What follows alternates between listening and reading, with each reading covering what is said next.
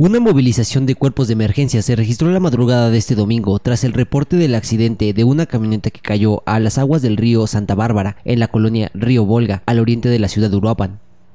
Información recabada en el lugar de los hechos señala que a las 4 horas vecinos de la avenida Río Volga alertaron al sistema de emergencias que minutos antes el conductor de una camioneta pickup roja circulaba en exceso de velocidad y tras perder el control del volante se había proyectado y caído hacia el río. Al lugar se movilizaron elementos del Cuerpo de Bomberos Voluntarios, Protección Civil Municipal y Cruz Roja, quienes realizaron las labores de búsqueda, sin embargo, el conductor del automotor no logró ser localizado. Con imágenes e información de Julio César Aguirre, Agencia Cuadratín. Grupo de Oro presentó